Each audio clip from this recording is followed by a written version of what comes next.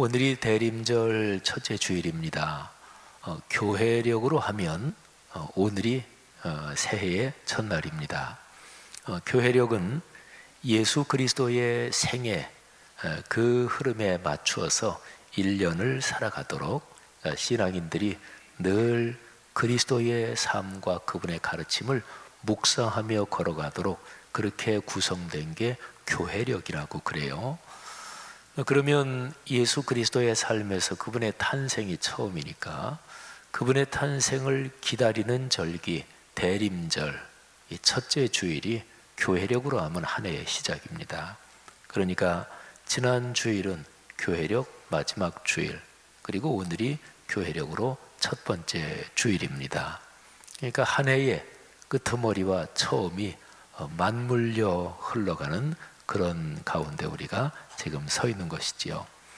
사랑하시는 성도 여러분들에게 이 12월 한 달, 아, 또 이제 또 열릴 새해 이 모든 시간의 흐름 속에서 하나님이 주시는 은혜가 여러분의 구체적인 삶에 넉넉하게 내리기를 주의 이름으로 축복합니다.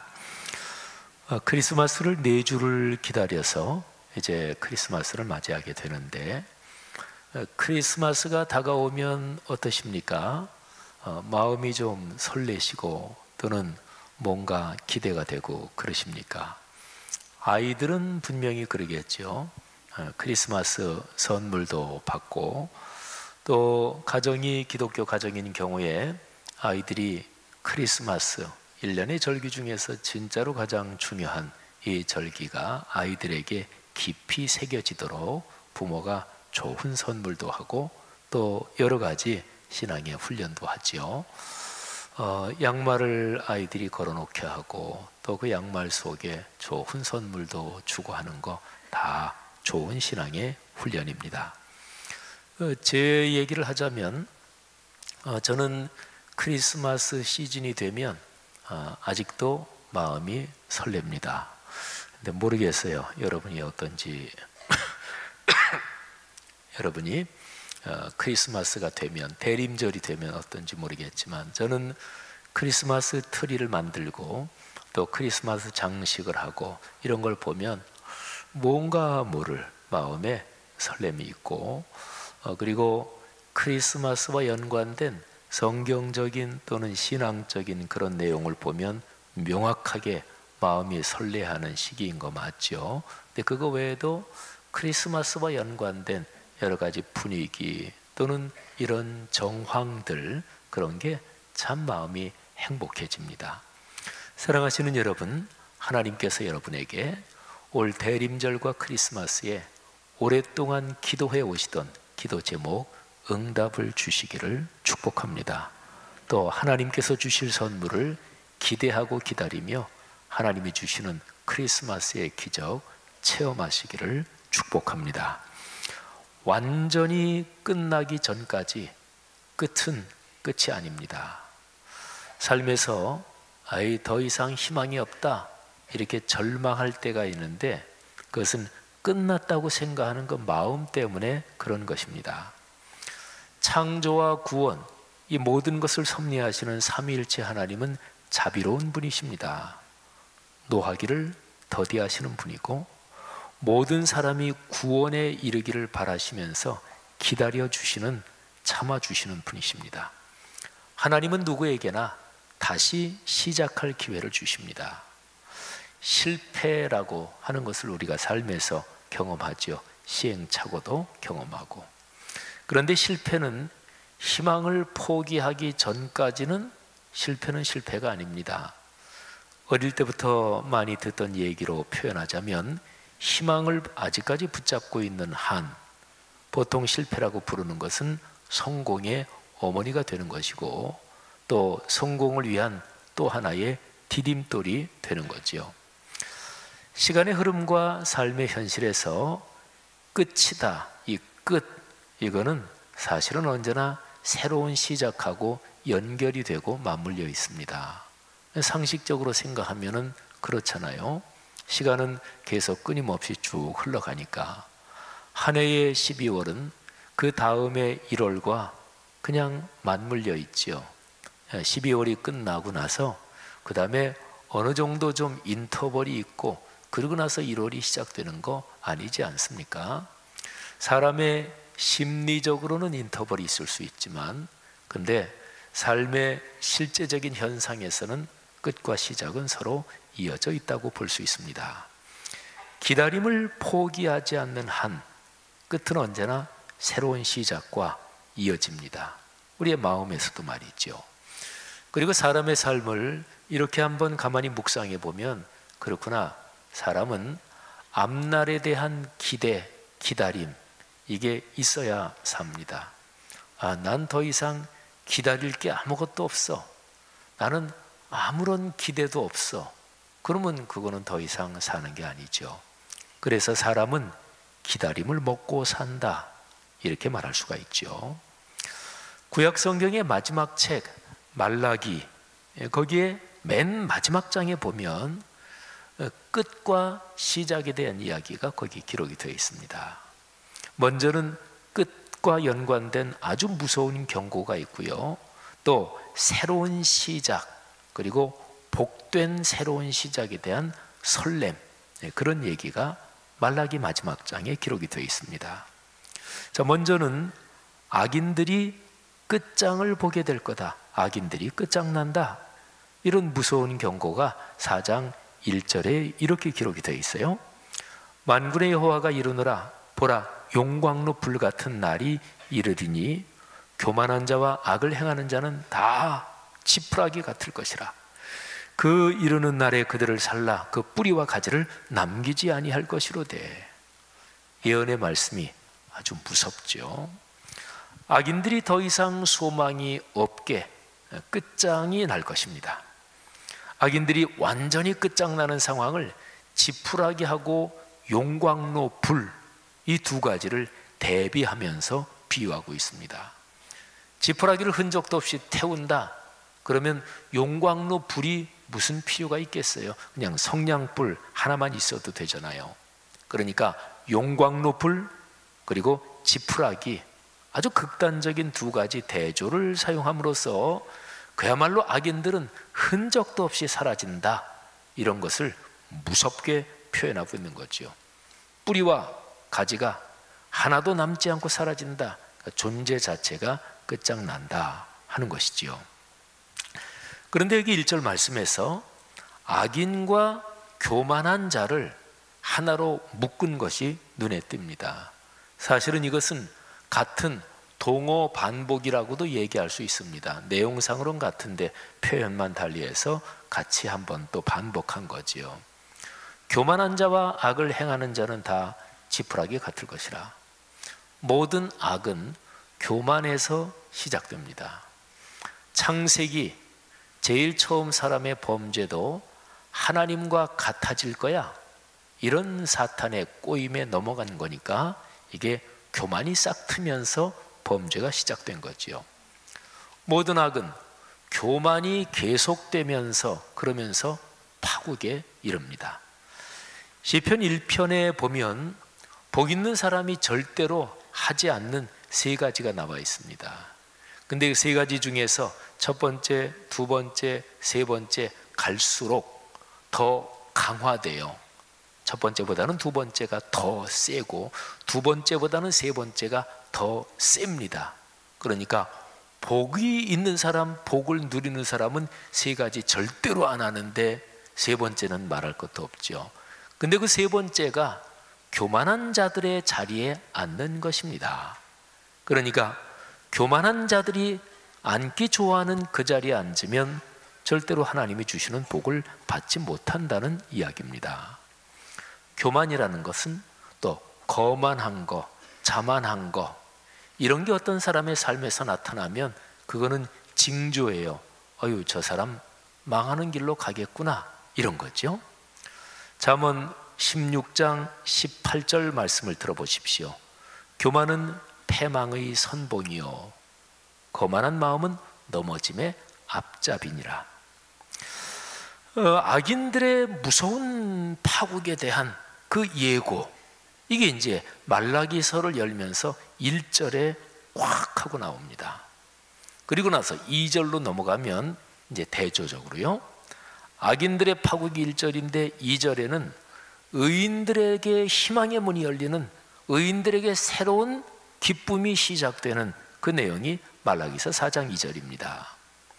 내 이름을 경외하는 너희에게는 공의로운 해가 떠올라서 치료하는 광선을 비추리니 너희가 나가서 외양간에서 나온 송아지 같이 뛰리라. 아멘. 공의로운 해가 떠올라서 치료하는 광선이 의인들에게 비치고요. 의인들이 그동안 고통당하고 억압을 당하던 모든 것이 온전하게 치유된다는 것이죠. 외양간에서 나온 송아지가 얼마나 기쁘게 뛰는지 뭐 저는 어 그런 목축을 안 해봐서 모르는데 혹시 여기 있는 성도님들 중에서 뭐 소나 이런 것을 길러 보신 분 계십니까? 이 구절을 묵상하면서 제가 한참 전에 본 TV에서 봤는데 그 장면이 하나 생각이 났어요. 요즘은 이제 소를 기르면서 우유를 생산하기 위해서 소를 기르든 아니면 그 소의 어, 고기를 쓰기 위해서 소를 기르든지 간에 소를 아주 효율적으로 기르기 위해서 아예 밖에 내놓질 않고 뭐 기르는 경우가 많다면서요. 그래서 송아지 새끼가 태어나서부터 한 번도 풀밭을 밟아보지 못하고 딱 제한된 공간에 가둬놓고 아주 영양성 섭취를 잘 시켜서 그래서 우유도 생산해 내게 하고 또 소고기도 생산해 내게 한다는 거죠. 근데 언젠가 TV를 한번 보니까 그렇게 풀밭을 한 번도 밟아보지 못한 소를 이제 거기에서 끌어내서 이제 풀밭에 풀어놔 준 거예요. 근데 소들이요 몸부림을 하면서 좋아하더라고요. 아주 몸부림을 하면서 그 한 번도 풀밭을 밟아보지 못한 소들인데 그 소에게 하나님이 주신 본능 때문에 그런 것일까요? 풀밭에 나오니까 처음에 조금 이렇게 어색하더니 막 뛰고 그리고 누워서 막 몸을 비비고 몸부림을 하면서 기뻐하더라고요. 오늘 여기 말라기 4장 2절 말씀을 묵상하면서 그때 이제 봤던 그 장면이 잠깐 설명 떠올랐습니다.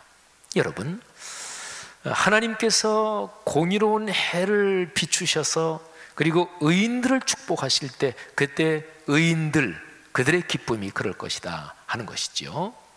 자, 1절에서 악인들을 표현하면서 교만한 자 이렇게 연결시켰잖아요. 근데 2절 악인과 대비되니까 의인인데 2절에서 의인을 표현하는 말이 하나님의 이름을 경외하는 사람 이렇게 되어 있죠. 이 점이 참 중요합니다. 하나님의 이름을 경외한다. 십계명에서는 하나님의 이름을 망령되이 일컫지 말아라 이렇게 명령하고 있죠. 누구나 다 그렇겠지만 어떤 사람이 쓰는 그 사람의 이름은 그 사람의 인격을 나타내죠. 그 사람의 존재 자체가 그 이름에 걸려 있는 거예요. 그러니까 내가 아는 어떤 사람을 이렇게 떠올려 보세요. 그러면 사실은 그 사람에 대한 가장 기본적인 인상, 내가 알고 있는 그 사람에 대한 모든 게 내가 그 이름을 떠올릴 때 거기에 전부 다 걸려 있는 거잖아요. 하나님의 이름을 경외한다는 것은 곧 하나님 그분 자신을 경외하고 예배하는 거하고 똑같은 거지요. 누가 의인입니까? 하나님의 이름을 경외하는 사람이지요. 성도 여러분, 하나님 주 예수 그리스도 또는 성령님 우리가 기도할 때나 또는 이런저런 경우에 하나님의 이름을 떠올리거나 또는 내 입으로 언급할 때 하나님 사랑합니다. 주님 제가 주님을 예배하고 경외합니다. 이런 심정이 우리에게 넉넉하기를 바랍니다. 그래서 하나님의 이름을 언급하거나 하나님을 떠올릴 때마다 우리 마음에 행복이 가득해지고 우리 마음에 신앙의 용기가 솟기를 주의 이름으로 축복합니다. 자, 1절, 2절 제가 말씀드렸죠. 1절 악인들의 무서운 파국. 2절 의인들에게 열리는 기쁨과 희망의 새로운 시작. 그리고 3절에서는 이 두 개가 비교가 됩니다. 악인들이 끝장난다. 의인들에게 새로운 시작이 열립니다. 그런데 3절에 보면 의인과 악인의 관계가 이렇게 표현되어 있습니다.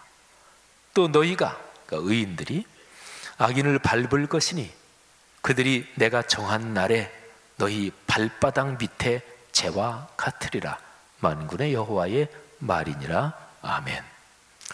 당연한 말입니다. 공의로우신 하나님께서 악인을 심판하시고 의인을 세우시는 그날에 악인들은 발바닥 밑에 재와 같게 될 것입니다. 하나님의 공의가 세상에 우뚝 서고요. 그리고 숨겨진 모든 악이 드러나고 위장한 선행이 폭로되고 그리고 종교적인 처신으로 신앙이 좋은 것처럼 그렇게 행세하던 것들의 모든 정체가 밝혀질 것입니다. 이때 사람의 마음을 보시는 하나님, 중심을 보시는 하나님께서 동기의 순수함을 가진 모든 사람들을 축복하실 것입니다. 사람은 누구나 완전하지 않죠. 그러니까 아유 잘해 보려고 하는 마음으로 시작했는데 그런데 하다가 실수하는 경우도 있고 나는 저 사람을 도우려고 했는데 그 사람한테 어려움을 주는 경우도 있어요. 그런데 이렇게 동기가 순수한 것 하나님이 반드시 축복하십니다. 성도 여러분들이요. 내 마음의 중심을 살펴서 어떤 사람을 만나서 무슨 말을 하든지 무슨 일을 하든지 내가 그 일을 왜 하는 거지 그 사람 만나서 그 말을 왜 하는 거지 이 동기가 중요합니다. 동기의 순수성 이게 신앙에서 가장 중요한 부분입니다. 성도 여러분들이요. 우리 자신의 마음을 늘 살펴서 내 마음의 동기가 늘 어린아이처럼 또는 주님 사랑하는 마음으로 가득 차기를 주의 이름으로 권면합니다. 자, 제가 1, 2, 3절 설명드렸죠. 말라기 4장은 6절까지 있어요. 그러니까 3절 있고 그 다음에 뒷부분 3절. 이 뒷부분 3절이 참으로 중요합니다. 앞부분 3절 악인들에 대한 심판 그리고 마지막 끝장에 대한 말씀과 또 의인들에게 열리는 새로운 시작 요 엄중한 상황 무시무시한 상황이기도 하고 중대한 상황이지요. 죽고 사는 문제가 거기에 걸려 있잖아요. 근데 이 세 절을 기본으로 해서 이제 마지막으로 얘기하고자 하는 메시지가 4절, 5절, 6절에 나오는 거예요. 자, 4절의 핵심적인 단어가 기록이 되어 있습니다. 기억하라 이 단어입니다. 뭐를 기억하라고 하는지 한번 들어보십시오. 너희는 내가 호렙에서 호렙은 호렙산 또는 신의 산을 말하죠. 내가 호렙에서 온 이스라엘을 위하여 내 종 모세에게 명령한 법 곧 율례와 법도를 기억하라. 아멘. 뭐를 기억하라고요? 말씀을 기억하라. 기독교의 중심 메시지는 구원이지요. 생명을 구원하는 것. 그러면 구원이라는 것을 좀 더 한번 짧게 평이하게 설명하면 어떻게 설명할 수 있을까요? 하나님의 말씀을 기억하고 깨달아서 그 말씀대로 사는 것, 이게 구원이고 구원을 누리는 것입니다. 말라기 지금 우리가 묵상하는 이 말씀의 표현대로 한다면 하나님께서 모세를 통해서 또는 모세에게 명령한 거룩한 하나님의 말씀을 기억하고 그 말씀대로 사는 것, 이게 바로 구원이지요. 말라기서는 구약의 마지막 책이잖아요. 구약 성경이 제일 마지막으로 끝나면서 마무리하면서 하나님께서 인류에게 또는 이스라엘 백성에게 무슨 말씀을 주시는 것일까요? 기억하라. 바로 이것입니다. 하나님의 말씀을 기억하라는 것입니다.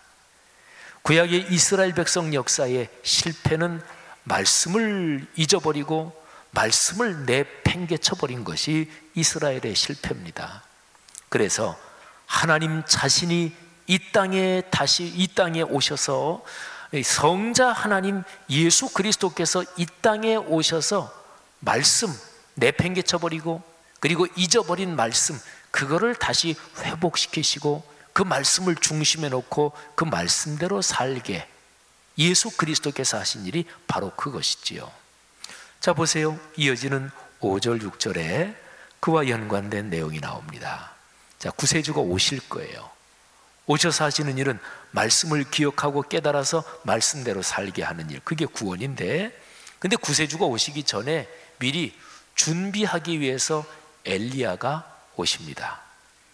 근데 그 엘리야가 무슨 일을 할까요?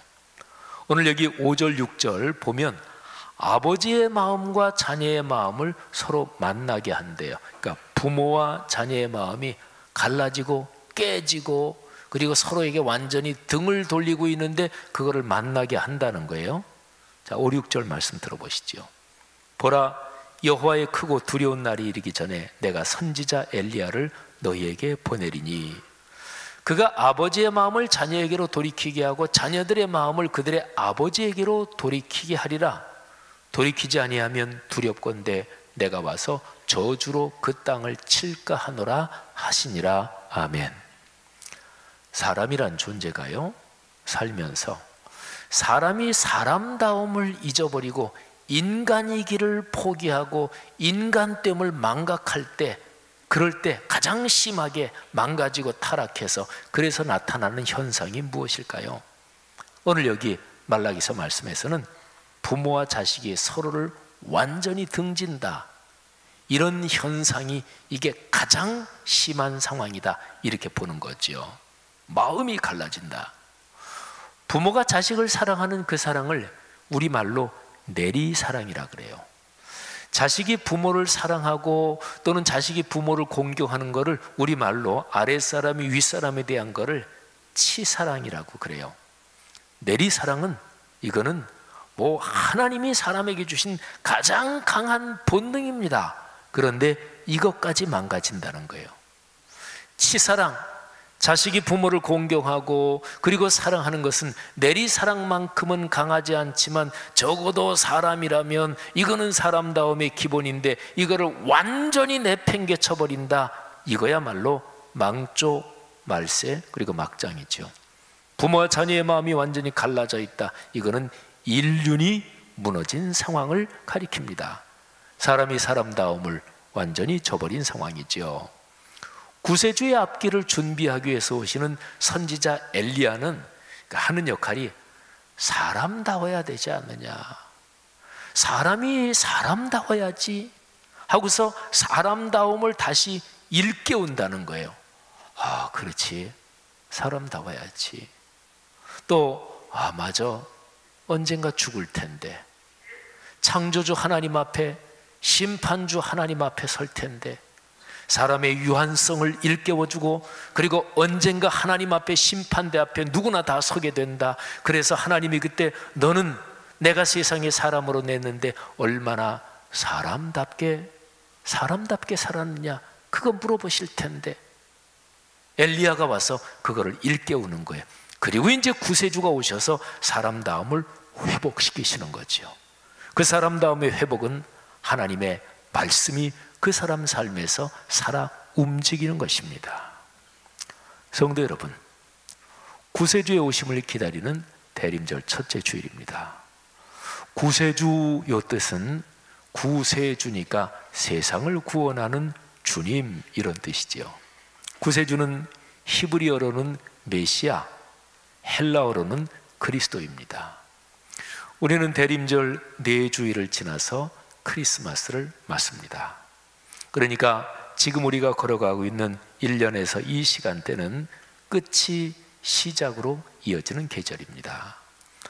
악인들의 파국적 끝과 의인들에게는 새로운 시작, 또는 슬픔의 끝과 기쁨의 시작, 갈등과 싸움의 끝, 그리고 화해와 평화의 시작, 절망의 끝과 그리고 희망의 시작.